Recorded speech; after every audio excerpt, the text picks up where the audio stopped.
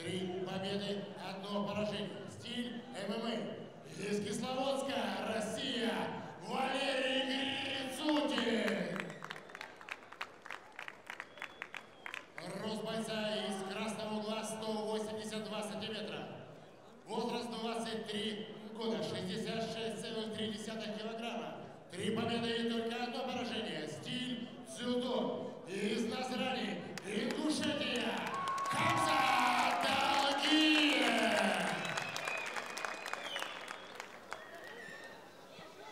Дорогие друзья, сейчас великолепный поединок нас ждет. С вами под номером 6 ACB 30, Young Eagles 5.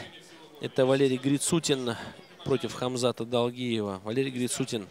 Три победы, одно поражение у этого парня. 65 килограммов, 800 граммов. А, весовой дивизион, 175 сантиметров. Его рост 21 год. Этому бойцу его базовый вид смешанное единоборство. Представитель клуба АК Таиланд и Афанасов клуб Кисловодск, Россия. Хамзат Далгиев. Три победы, одно поражение. Этот же весовой дивизион, 182 сантиметра, его рост 23 года. Э, рост э, Валерий Грицутин, напомню, левша. В правосторонней стойке э, он проводит поединок. И также Хамзата Далгиева, базовый вид дзюдо. Клуб «Беркут», Назрань, Ингушетия, Россия.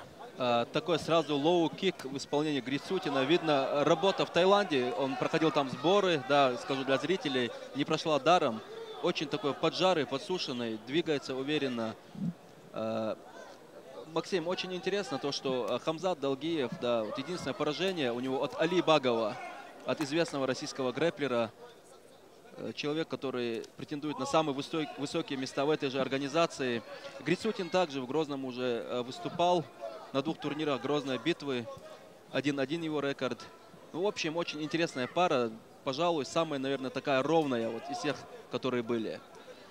Да, вы знаете, а, его одно поражение в Грозном, которое он получил, вы помните этот бой? Да, да, от Апти Бимарзаева. Апти Бимарзаева, представителя бойцовского клуба «Ахмат». И а, как бой э, проходил вот в тот э, момент? А, Апти очень известный э, в определенных кругах ударник. Не знаю, Максим, слышали вы о нем или нет. Работает в такой добротной, хорошей манере. Оу, Ох, точно, жестко попал как раз сейчас Грицутин, левый в разрез в коридоре ударил, знаете, узко и точно. Великолепно был нанесен удар. Прям тут же болтанул он, по-моему, после этого удара как раз своего оппонента. И, знаете, завис так э, спортсмен из э, клуба «Беркут». Да, вот Лову, вот, ну в том бою с Апти также с ударником шла более работа в стойке, но Апти оказался более высококлассным. А, ну бой в целом был равный, раздельное решение судей. Здесь что мы можем сказать? Почему-то вот Хамзат снова мы видим то, что не использует свою базу. Да, пытается... О, разрез еще один в ответе, точнее, в ответной форме. Левый в догонку. Жесткий был удар, вы знаете, рухнул после этого удара Хамза Долгиев э, наносил, но отдать ему должное. Знаете, как он быстро вернулся в бой и контрил. Уже сейчас, сейчас не просто контрит, а уже в атакующей фазе пребывает. Да, вот готовил треугольник, да, Грицутин, Валерий Грицутин не прошел. Хамза, да, прям на ходу пришел в себя и осуществил тейкдаун. Сейчас потихоньку, наверное, пытается э, прийти в себя, отлежаться где-то очень жестко работает Валерий Грицутин. Вот повторюсь, что, видимо, вот работа в Таиланде с местными тайбоксерами, которые славятся на весь мир, она не прошла даром. Тем более в таком клубе, как э, ЭК, как правильно называется? Да, ЭК, uh, она American Kickboxing Academy. Да, действительно, американская кикбоксерская академия. В ней, мы знаем, тренируется очень много известных российских бойцов в АК эм, в Америке, который клуб базовый, изначальный, первый клуб Э, только могу перечислить Хабиба Нурмагомедова, Ислама Махачева, Абубакара Нурмагомедова. Руслан Магомедов. Руслан Магомедов. Угол сейчас там же. Да, Руслан Магомедов, э, как раз представитель Ченского клуба Ахмат. Э, вот трое перечисленных мною это представители клуба Old School Абдулманапа Нурмагомедова, нашего великолепного тренера, заслуженного тренера страны по боевому самбо. Человек, который воспитал более 20 чемпионов мира по боевому самбо. насколько же жесткий Валерий Грицутин, даже вот со спины вот ощущается, да, насколько тяжело его контролировать, Хамзату Долгиеву. Э, очень импонирует мне этот боец, потому что э, обладает неимоверным характером он. Но сейчас вынужден находиться э, на спине и работать с этого положения. Пока ничего такого опасного не, не предлагает ему соперник. Ну да, и на самом деле Грицутин, э, знаете, в социальных сетях он как Braveheart э, везде проходит, а это храброе сердце. Э, то ли ему хочется себя таковым чувствовать, то ли его таким образом наименовали однажды, и вот такой ник прицепился к нему. Любопытно. Я думаю, что все-таки здесь в большей степени его, наверное, качество храброго сердца, они действительно ну, прослеживаются как минимум. Этот парень э, уж точно а, не из робкого десятка. Да, это, это очевидно, Максим, потому что э, он не раз... О, вот переход Посмотрите. на полевой, на ногу. Да, соскользнула нога, не получилось у Хамзата. Э, возвращаются бойцы в стойку.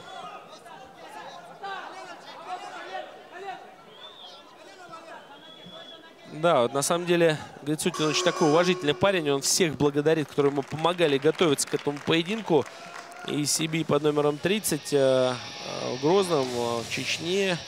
И вы знаете, он благодарит не только клуб АК Таиланд, а он благодарит в том числе команду Афанасов.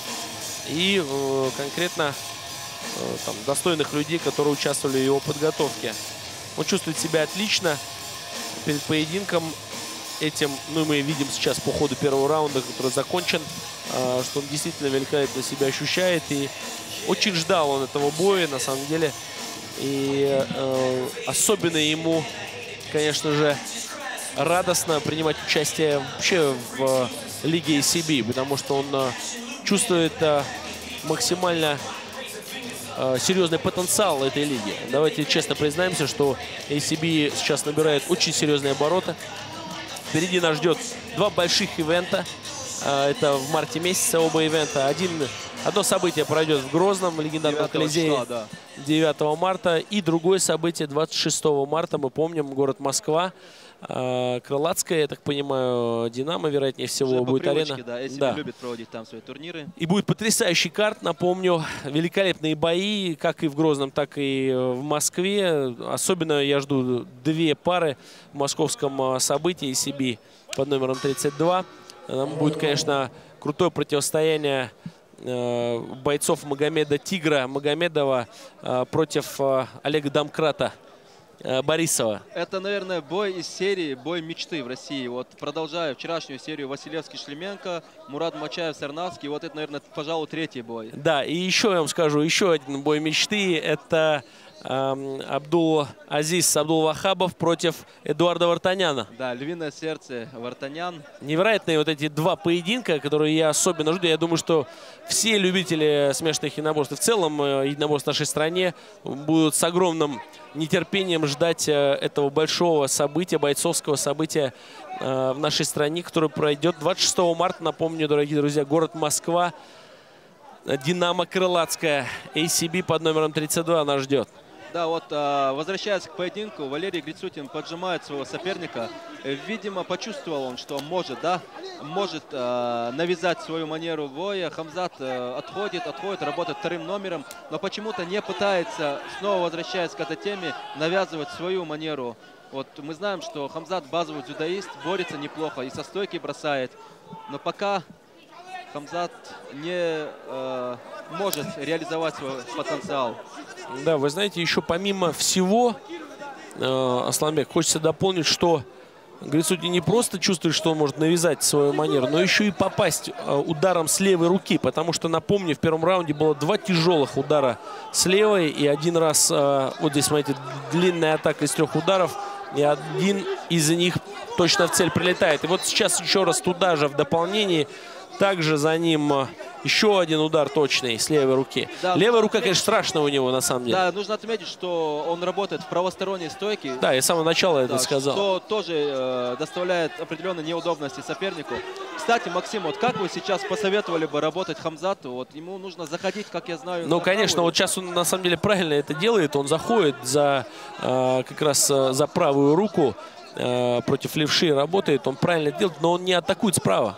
Он не атакует справа, Сейчас а была такая вялая попытка, провалился. Э, он должен атаковать с любой правой конечности. Как с ноги, так и с колена, так и с правой руки. Он этого не делает, и э, он отдает пространство. Если он отдал пространство левше, если он отдал пространство левше, у него уже э, потенциал снижается максимально, чтобы выиграть этот бой. Потому что левше нельзя давать пространство. Он должен сам навязывать количеством ударов.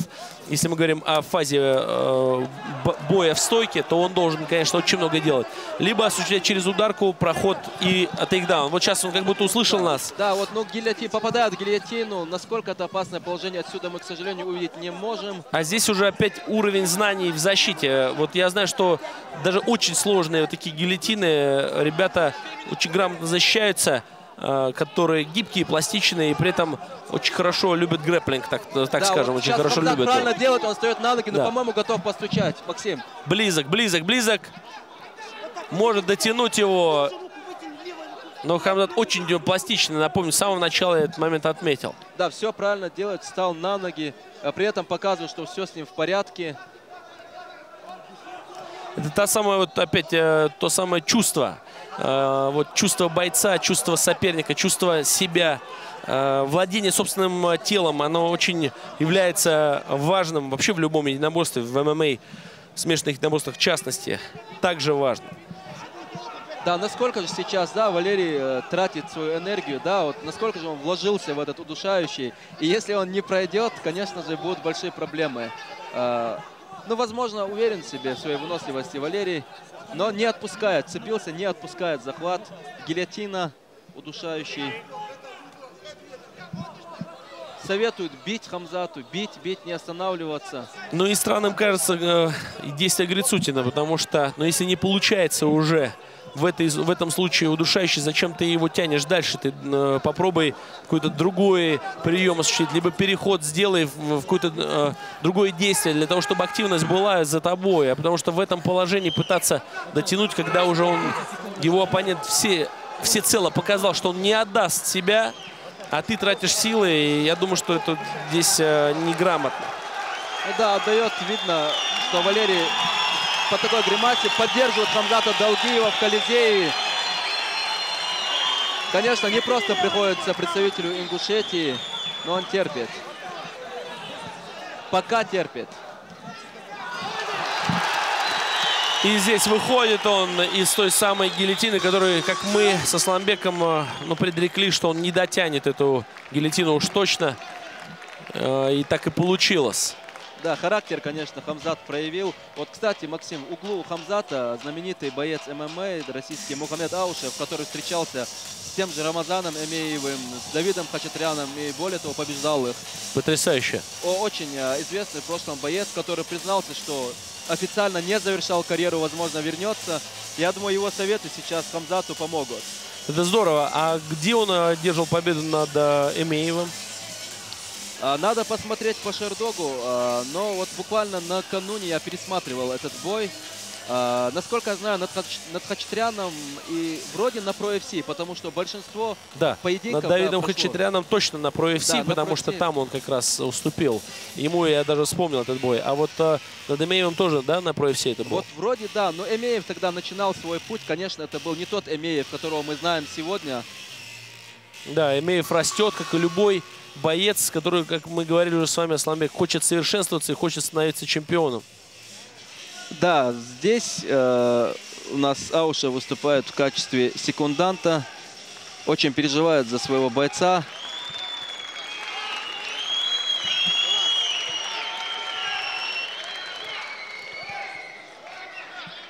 Дорогие друзья, напомню вам, что трансляция сегодняшняя вживую проходит в прямом эфире сразу на двух э, телеканалах. Это «Матч Боец» и канал э, ЧГТРК «Грозный». ACB под номером 30. Гру, э, в Грозном. О, правый О. хайкик. э, Young Eagles под номером 5. Правый хайкик точный.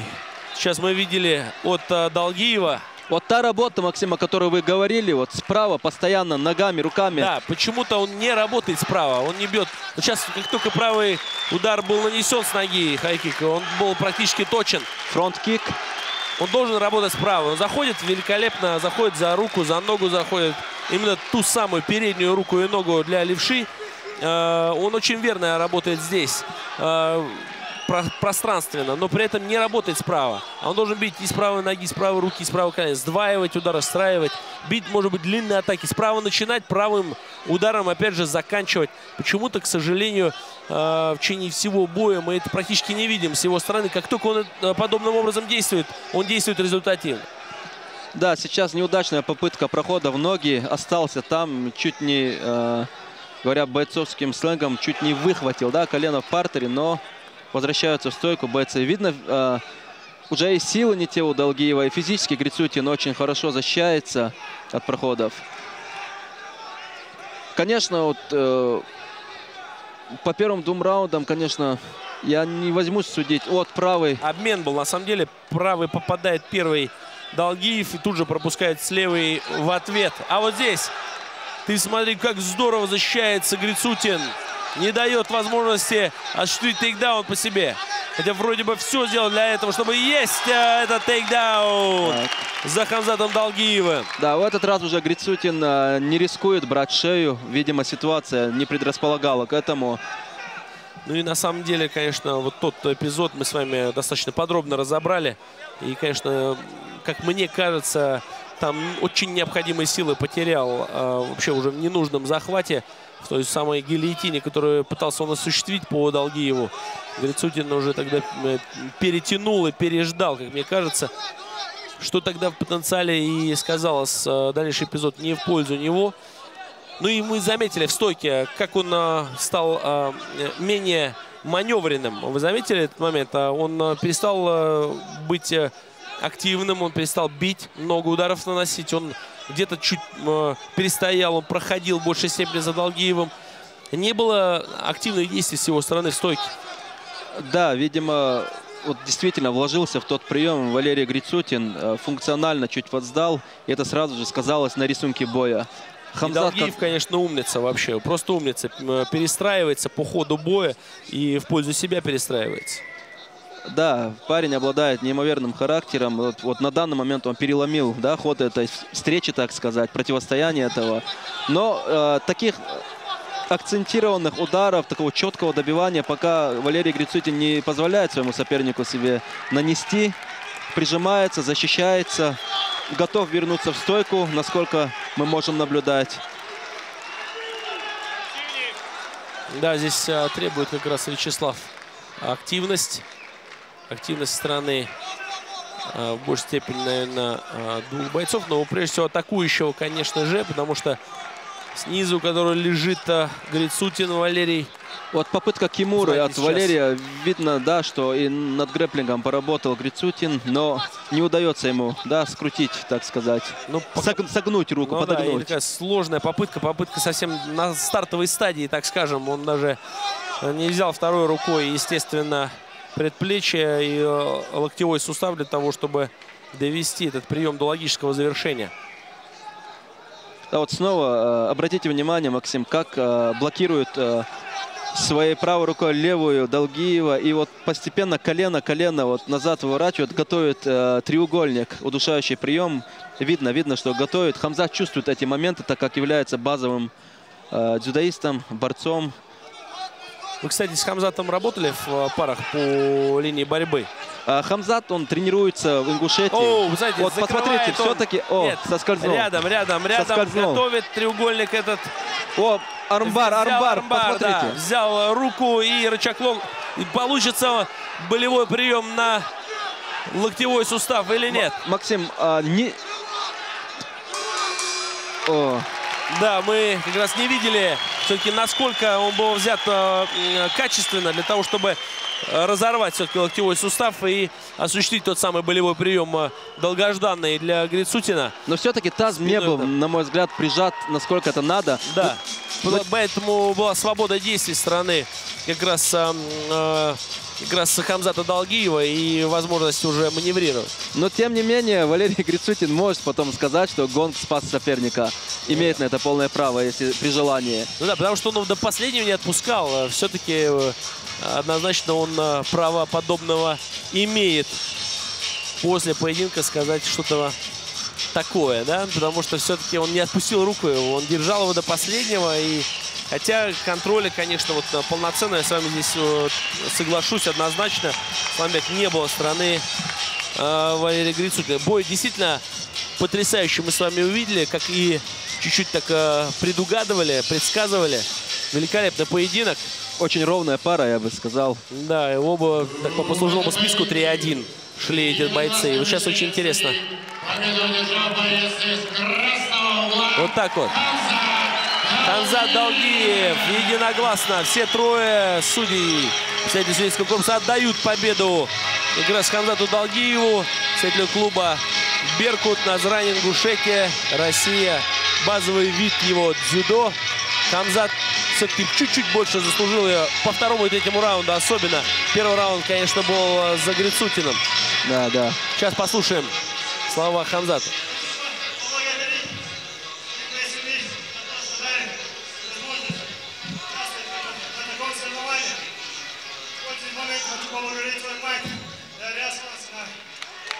Да, очень правильные слова со стороны Хамзата Долгиева. А, вот на самом деле поблагодарил всех нужных людей. А, мама это святое.